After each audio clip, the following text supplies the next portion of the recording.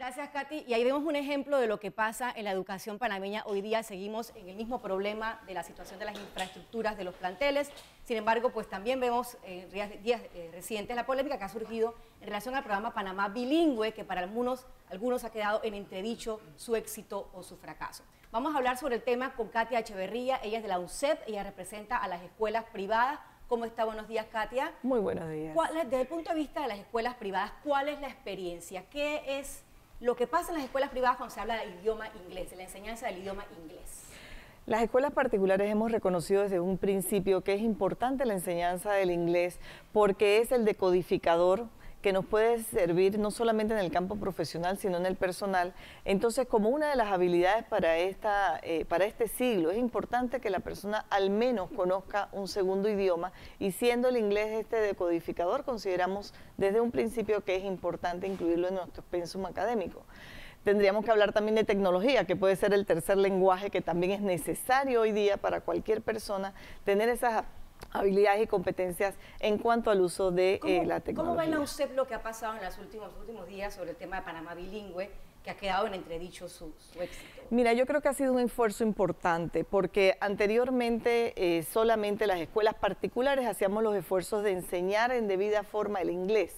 Y yo creo que desde que un gobierno considera que es necesario hacer esa capacitación a sus docentes y tratar de permear con esta enseñanza, con una enseñanza moderna a los estudiantes de las escuelas oficiales, se les, se les ofrece también una oportunidad a esos estudiantes. A lo que ha dicho el viceministro staff en las declaraciones que dio a la Estrella de Panamá es que realmente ha sido un porcentaje muy bajo el que ha aprobado la certificación. Yo entiendo que ahora deben venir una serie de mediciones, porque lo que no se mide realmente no podemos saber si funciona, si ha sido efectivo o no. Pues las cifras que maneja el viceministro pareciera que, que en ese sentido van, ¿no? que no está funcionando. Así es, pero yo estoy segura de que de ahora en adelante, si se empiezan a hacer todas las gestiones de medición que hemos escuchado que están haciéndose, deben poderse realmente medir la efectividad que ha tenido. Sería una lástima que un esfuerzo de tanto dinero, de tanto esfuerzo de todos los panameños enviar a estos docentes para que se capaciten, no se les dé el seguimiento adecuado. ¿Cuál ha sido de pronto la diferencia en las escuelas particulares que hemos tenido esa experiencia? La supervisión.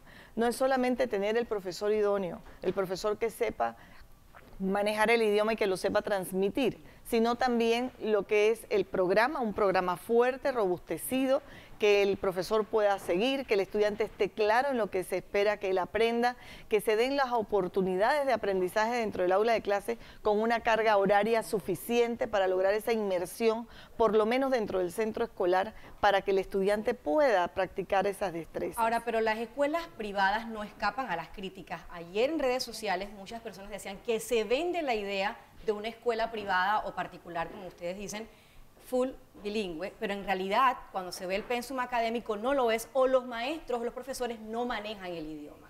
Es que hay diferencias en los programas. Hay colegios que son bilingües porque tienen una mayor cantidad de horas de inglés y hay colegios que tienen full inglés, es decir, que la mayoría de las materias son dictadas en inglés.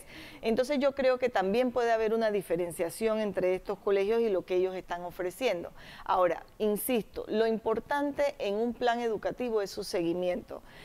si el docente solo eh, puede ejercer en su salón de clases sin ningún tipo de supervisión y de medición, porque por ejemplo la experiencia con, en nuestros colegios, en por ejemplo... particulares se hace esa medición, esa supervisión, porque pareciera a veces que no, porque hay muchos estudiantes que se quejan incluso de que los profesores no dominan el idioma inglés ni tampoco el español. Entonces estamos en un sistema educativo que está fracasando. Varias situaciones. Mira, en primera instancia hay una situación compleja en lo que es la posibilidad de tener docentes que manejen el idioma en forma adecuada.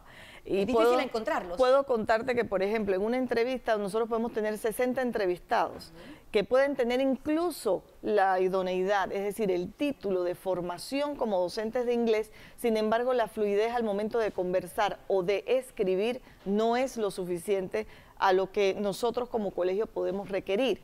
Entonces sí se hace difícil a veces lograr ese perfil de personal y por eso digo que este tipo de esfuerzos que se están haciendo, tratando que profesores graduados tengan esta experiencia, no solamente de conocer el idioma, sino también la parte cultural de lo que es eh, el área anglosajona, puede ser una experiencia eh, fundamental para enriquecer lo que ya tenemos. ¿Cuál es la preparación de ese maestro que va a esas pruebas, a esas evaluaciones que ustedes dicen, a esas entrevistas? ¿Cuál es la preparación en términos del inglés de ese maestro que llega a las escuelas particulares, por ejemplo? Por lo general viene? con un título de licenciado en el idioma inglés que es obtenido en las universidades tanto estatales como particulares o privadas del país. Que para algunos no es muy eficiente. Es correcto. Y lo idóneo es que también tenga, la, por ejemplo, si es un profesor de secundaria, que tenga la diversificada, es decir, la pedagogía para enseñar el inglés. Entonces, esta combinación no es tan sencilla. Yo siento que hay que hacer un llamado a la Universidad de Panamá, a los formadores de formadores, a todo lo que es la preparación de estos formadores para que vayan a las escuelas y puedan brindar ese inglés de calidad. Porque dice mucho de la preparación de un docente que va a la Universidad de Panamá, por poner un ejemplo, que después sale de ahí, egresa de ahí y tiene que ir a un programa Panamá bilingüe, o sea, es decir, que no viene realmente bien formado. Así es, la capacitación tiene que ser constante en cualquier área, porque uno nunca deja de aprender y como facilitador necesita siempre estar en ese proceso de mejora continua. Pero sí estamos entendiendo que hay que hacer esfuerzos grandes, grandes para poder lograr que el profesional graduado de la universidad tenga esas competencias necesarias para tener esa fluidez en el idioma y que lo pueda enseñar en forma adecuada. Y para terminar, ¿qué le decimos a un padre de familia cuyo hijo está en escuelas particular y que paga por ese servicio, digamos así, o esa preparación de un, maestro, un profesor que domina el idioma y no lo tiene?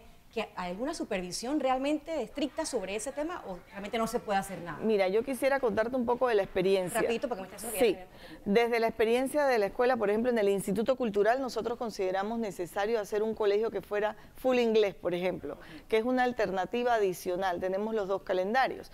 En esa alternativa adicional, mientras más esté el estudiante sumergido en un idioma inglés, mejor lo va a poder aprender con más rapidez.